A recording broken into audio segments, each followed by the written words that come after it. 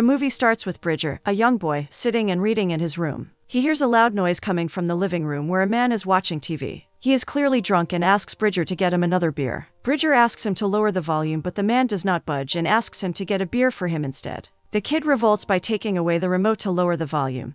But that only enraged the drunkard and he wrestles Bridger to the ground. Bridger tries to free himself, but his mother gets home just in time. She hits the man on the head with a skillet and frees her son. Then, she gives him his pills and asks him to gather his bag. The two run away from the abusive drunk man to save their lives. On the road, his mother, Helen, apologizes to him for not being there for him at the time. For once, she just wants to find someone who would treat Bridger right. He wants the same too. Helen tells him that the right kind of love lasts a lifetime. Bridger wishes that they both can find it someday. For now, they have no place to go and only $197 with them. And though the odds are totally against them, the mother and son duo seem unfazed by the tough situation. They are positive that they will make it. They drive for hours, talking and having fun. They stop for gas refills and eat the gas station food and keep moving toward the coast. The following day comes and the car starts giving them trouble. Bridger makes some temporary adjustments with the carburetor but is not sure how long the car would go on for. They also realize that they only have $16.22 remaining. But Helen keeps the morale up and the two drive on.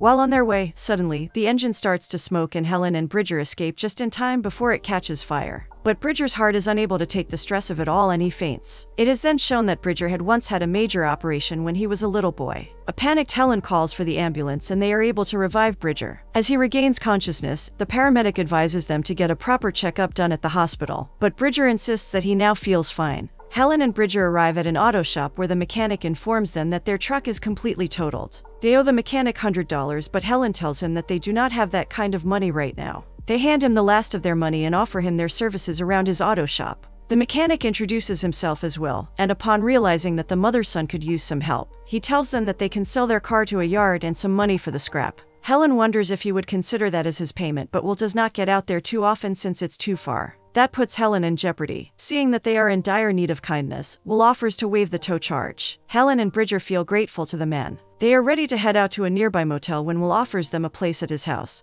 Seeing as they can't afford a motel anyway, he brings them home to his big property where they see his daughter, Clover, tending to a horse, though she does not bother introducing herself. Will shows them to a trailer that has not been in use for a long time, but Helen is grateful nonetheless. She and Bridger get to cleaning the trailer. Meanwhile, Will hooks them up with the electricity. While cleaning, Bridger spots Clover out by a tree, reading Pride and Prejudice all by herself. He thinks of approaching her, but the girl clearly does not want to be approached. They exchange looks throughout the day, but never a single word. Later that night, Will treats them to a home cooked meal, and both Helen and Bridger are grateful yet again. At the dinner table, Clover refuses to participate in conversations. She keeps her face hidden with the mane of her hair and acts weirdly. Without a word, she excuses herself and leaves. Will apologizes to them for his daughter's rudeness because it has been a tough year for them. After his wife passed away when Clover was little, it has just been the two of them living by themselves. He then offers that they can stay with them for as long as they like. Helen only plans on staying until she can raise enough money for a car and rent. She obviously needs to get a job, and Will offers to put in a good word for her at his friend's restaurant.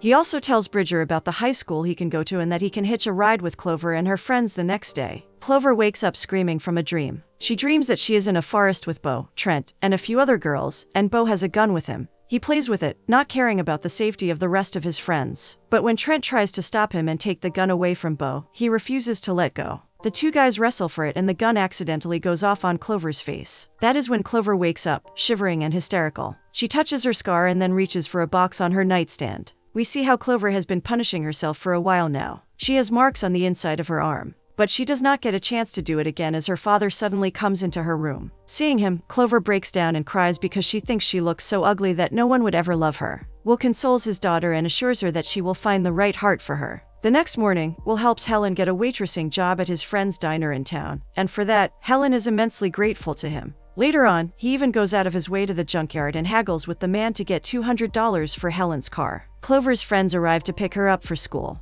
When Bridger hears the car, he hurries to freshen up so he can make it on time. Clover's friend, Albert, has a serious crush on her and sometimes acts like she's his girlfriend. Just as Bridger comes out of the trailer, Clover's friends ask about him. She tells them that he's just a stray her dad picked up from the road and asks Albert to drive away. Left behind, Bridger decides to walk to school. On his way, a stranger on a bike pulls over and offers him a ride to the school, which is around 10 miles away. Bridger refuses at first, considering he is a stranger and for all he knows could be a murderer, but then agrees to take his help. The man brings Bridger to school and Bridger thanks him for his help. The two bond over their interest in motorcycles, and the man introduces himself as Roman. He is a teacher at the school. Bridger gets his schedule and enters the biology class where Clover and her friends are already present. In the class, Albert notices the fresh marks on Clover's wrist and realizes that she is still punishing herself. He expresses his concern for her, but Clover asks him to mind his business. Just then, Bridger walks into the class and steals everyone's attention. Clover's classmate and her ex friend, April, notices her checking out the new guy and makes fun of her. Trent, one of the guys who was involved in Clover's accident,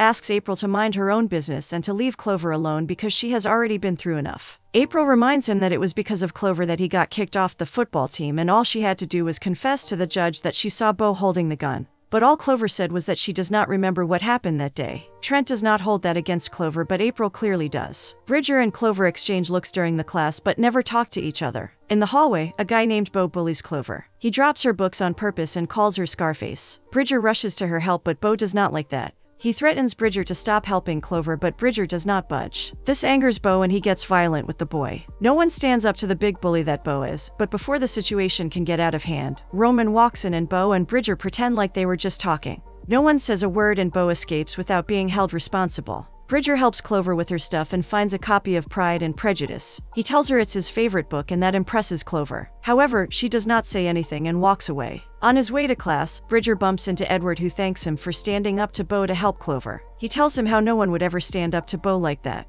He then apologizes to him for leaving him behind earlier that morning and the two head to Roman's shop class together. In the class, Roman asks a question and Bo gives him a wrong answer. Instead, Bridger answers it correctly and Bo curses out loud. This angers Roman and he sends Bo out of the class for misconduct. As he is leaving for the day, Bridger runs into Bo, who beats him up for getting in his business earlier. Bridger is unable to defend himself as he is not all that strong. Roman walks in just as Bo threatens Bridger and leaves. Bridger is in a bad shape and even struggles to breathe, but he refuses to tattle on Bo. Despite Roman's concern, Bridger walks away. Helen's first day at her job ends and she thanks her boss for hiring her. He has no idea what this means to her. Later, Will picks her up from work and gives her the money he got for her car. Helen expresses her gratitude towards him. Then the two get some food together. Bridger walks all the way back home and is completely exhausted by the time he gets there. When his mother returns, she tells him about his day and asks about him. Bridger tells her that he will not be returning to school anymore. Helen wants him to finish school, but Bridger hates this place. He only wants to save up enough money so they can get out of there. Later that night, Bridger cries in agony, remembering his childhood tragedy. Helen comes in to comfort him, and Bridger asks her what is so wrong with him that he always feels so different. Helen tells him that he is different because he is a miracle. She makes sure he has had his medicine and assures him that everything will be fine. The next morning, Clover and Edward gang up against Albert and ask him to give Bridger a ride to school. Albert finally agrees, seeing that neither of them would ride with him if he did not. But when Edward comes to get Bridger, Bridger lets him leave without a word. He then finds his mother's note on the counter in which she asks him to give school another try. Bridger eventually gives in and starts getting ready. Then he walks to school. At lunch, April approaches Bo, telling him that she is no longer talking to Trent. She complains about how Trent forgave Clover for not taking his side in court, and that he still blames Bo for the accident. Bo blames Trent too, telling her that it was Trent who took the gun from him. Bo holds Clover and Trent responsible for ruining his life and promises to make them both suffer. When Bridger enters the cafeteria, Bo picks on him. He first pretends to apologize to Bridger and convinces him that he regrets his actions. Just as Bridger shakes hands with him, Bo pushes him away and makes a laughing stock out of him. Bridger falls to the ground and all the food gets on his clothes. Clover rushes to help him, but she feels responsible for what is happening to him and tears up. Bridger tells him it is not her fault and walks away. Clover screams at all the people staring at them for making fun of someone they disapprove of. No one says a word, and they just keep staring at her. She gets out of there and finds Bridger. She apologizes to him for what happened in the cafeteria and also for judging him earlier. She thought he was like the rest of the guys, but he is different. She also thanks him for standing up for her the other day. Bo gets a warning from Roman about behaving himself and treading lightly. On the way back home, Clover, Albert, and Edward find Bridger walking alone. Clover and Edward want Albert to stop the car and give him a ride home. Albert finally stops the car, but just when Bridger is about to get in, Albert drives away, leaving him behind. This makes Clover mad at him, but Albert refuses to give Bridger a ride because he obviously feels that Bridger stole Clover from him. He argues that she was supposed to be his and Bridger ruined his chances with her. Clover yells at him, telling him that they were only ever going to be friends and nothing more. But even then, he refuses to go back for Bridger. When he drops Clover off, she storms away from him. Meanwhile, Bridger keeps walking and suffers heat exhaustion. His already fragile health does not help him much either. But before matters can get worse, he gets spotted by Roman on his drive back. He stops the car and helps Bridger. He gives him some water and a change of clothes. As Bridger finally comes to his senses, he talks with Roman about Clover. That is when Bridger finds out about Clover's history in this town and how she got the scar on her face that she tries to hide. Clover went through a lot of reconstructive surgeries but could never get rid of the scar completely. Bridger thinks that she is beautiful nonetheless, and Roman attributes that thinking to Bridger's kind heart. Just as Bridger is about to hitch a ride with Roman, they notice Clover coming over on her horse. She apologizes to Bridger about earlier, and Bridger hops on behind her. Clover brings him to her favorite spot where she has only ever brought her father before. There, Bridger notices a fort house that belongs to Clover. They both sit in the fort, and Clover tells him about her horse Donnie. Her dad bought him for her when she was five. Bridger tells her that he likes her dad, and Clover tells him that she likes his mom. Bridger appreciates that. He looks through some of Clover's old stuff and finds a notebook inside, which is an old newspaper article about her mother's accident. Clover gets a little sad as she recalls how her mother passed away when she was five. Bridger tells her about how he has never even met his father who left him before he was born. When Bridger admits that he's starting to like this place, Clover feels like the comment was directed toward her. She looks away from him and Bridger wonders why she will not ever look at him. Clover tells him that she's just shy, but Bridger knows the truth about her accident now. He tells her that everyone has scars of their own, but Clover does not believe that. Bridger quotes a line from her favorite book, Pride and Prejudice, and that makes Clover smile. He cautiously reaches for her hand, and Clover feels all the excitement of the first love. She returns home in a super happy mood, and her father is pleasantly surprised to see her that way. He hesitantly asks her if it would be okay for him to lend some of her mother's clothes to Helen, and much to his surprise, Clover does not mind that at all. Later that night, she knocks on Bridger's door with a box of her mother's old clothes. She shyly hands it to him and with it, her copy of Pride and Prejudice. After she leaves, Bridger turns over to the first page and finds a note from Clover that says her favorite place to read this book is by the big tree, under the moon. Bridger sneaks out of his trailer and meets Clover by the tree. They spend their time reading the book together. Bridger notices that Clover is looking at him now and she tells him it's because it's easier in the dark when he can't see her scar. This prompts Bridger to show Clover the real him. He unbuttons his shirt, and right in the middle of his chest is a long scar that he got from the heart transplant he had as a little boy. His honesty finally allows Clover to be her real self with him, and though she is scared, she lets him look at her scar. Bridger kisses her and tells her that she is absolutely beautiful, accepting her as she is. The next morning, Albert apologizes to Clover for behaving badly the other day. Clover forgives him and so does Bridger. The four of them ride to school, with Bridger and Clover holding hands in the back seat. As the days go by, Bridger and Clover get closer and closer. Bridger and his friends also begin standing up to bullies like Bo. Clover no longer feels the need to hurt herself and enjoys spending all of her days and nights with Bridger. Soon, the day of their graduation arrives. Sitting in the audience, Bridger starts feeling a little uneasy. He excuses himself to go to the washroom and Bo and his friends follow him. While everyone celebrates out there, Bridger struggles to even breathe inside that washroom.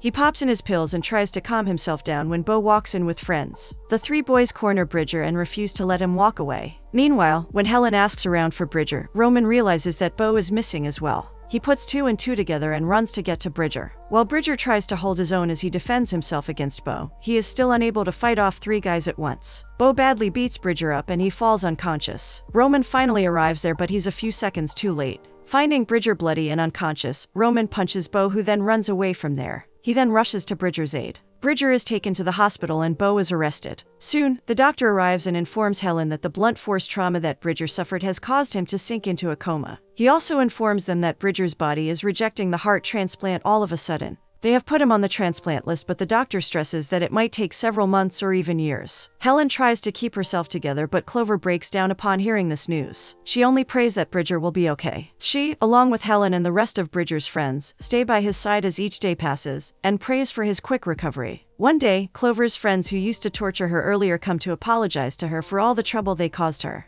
Clover makes it a habit to read their favorite book, Pride and Prejudice, to Bridger. One day, as she is reading him a passage from the book, Bridger opens his eyes and immediately asks her to marry him. Clover, realizing that he is finally awake, cries tears of happiness and kisses him, not hearing what he had asked her. So, Bridger asks her again and Clover breaks into more tears and happily accepts his proposal. The doctor informs Helen and Will that while Bridger seems to be recovering well, and his new medication for his heart seems to be working too, there are no guarantees when it comes to how effective it will be. He needs to be monitored and needs to stay on his medication. But Helen is glad to know that her son might get well after all, that she can soon take him home. Roman comes to visit Bridger and tells him that Bo will be doing some jail time for aggravated assault. Bridger feels responsible about Roman losing his job, but Roman tells him to not sweat it. Clover and Bridger then announce their marriage in front of everyone and their plans to spend the summer at the beach. The news takes them all by surprise, especially their parents. Will excuses himself to get some air and Clover follows him to talk. Helen, on the other hand, is really happy for Bridger because all of his dreams are coming true.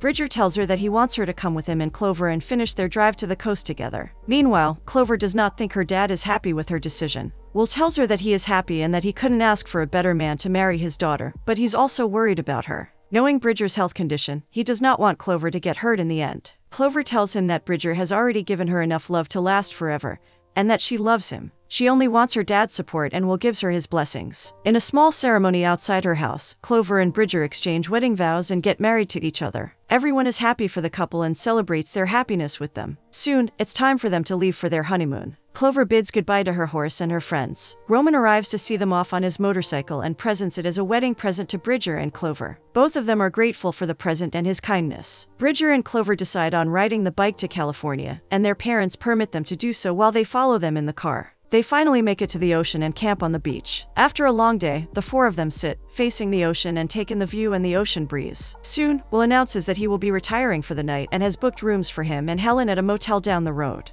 They are leaving the trailer for the newlyweds for their first night together. Before they leave, Helen and Bridger marvel at the fact that they finally made it. They hug each other, saying I love you, and then the grown-ups finally leave. Bridger and Clover spend a wonderful night together, making confessions of love and happiness. The next day, Bridger feels grateful to be waking up next to the love of his life. He wraps a blanket around himself and steps out of the trailer, taking in the magnificent view of the ocean. He walks down to the beach and sits on the sand. Hours later, when Clover wakes up, she walks up to Bridger on the beach. But as she watches him sitting there, hunched over, she realizes something is wrong as he just won't wake up. She cries and cries, begging him to wake up, but Bridger had passed away long before she found him. Will and Helen arrive at the scene, and though Will tries his mighty best to wake him up, Helen accepts her loss as though she had always been prepared for this day. She lays next to her son, head on his chest, and cries. A few years later, we see a family of four Helen, Will, Clover, and her and Bridger's baby girl, playing and laughing together.